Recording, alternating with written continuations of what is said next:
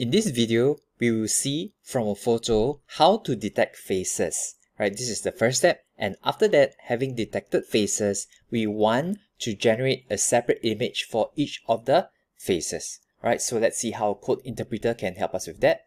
Right, so we the first thing is we'll upload the file. So just upload any file which has like people's faces, and I can say detect the faces in this photo. Okay, it's trying to detect faces.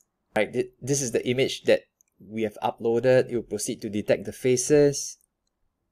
Okay, and then yeah, it manages to detect faces. Okay, so over here, so for some of them, the faces have been cut off by half, so it, it didn't really detect them, or if the faces are too blurred back in the end.